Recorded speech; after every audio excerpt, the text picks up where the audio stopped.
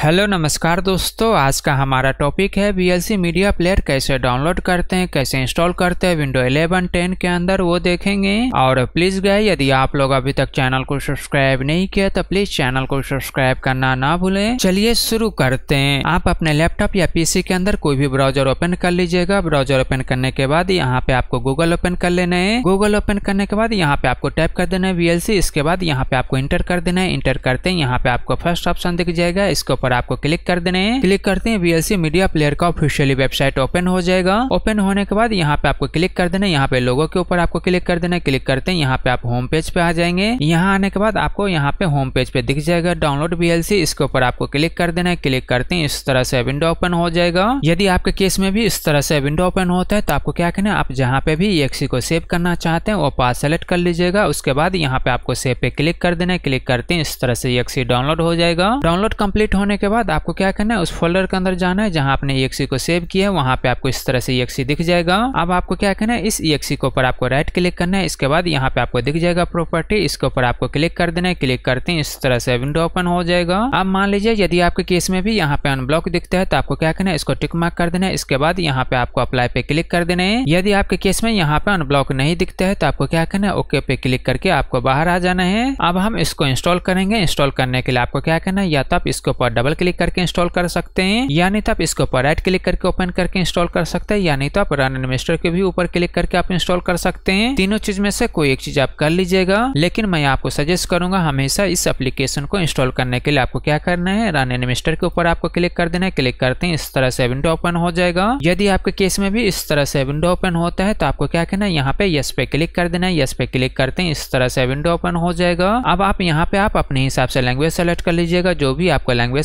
करना है, यहाँ पे आप अपने हिसाब से लैंग्वेज सेलेक्ट कर लीजिएगा। उसके बाद यहाँ पे आपको ओके पे क्लिक कर देना है। ओके पे क्लिक करते हैं, इस तरह से विंडो ओपन हो जाएगा। इसके बाद आपको क्या करना है, यहाँ पे नेक्स्ट दिखेगा। इसके ऊपर आपको क्लिक करना है। क्लिक करने के बाद ये विंडो ओपन हो जाएगा। अब आपको फिर से यहाँ पे आपको नेक्स्ट पे क्लिक कर देना है। इसके बाद फिर से यहाँ पे आपको नेक्स्ट पे क्लिक करना है। इसके बाद यहाँ पे आपको इंस्टॉल पे क्लिक कर देना है। इंस्टॉल पे क्लिक करते हैं, इस तरह से ये इंस्टॉल होना शुरू हो जाएगा।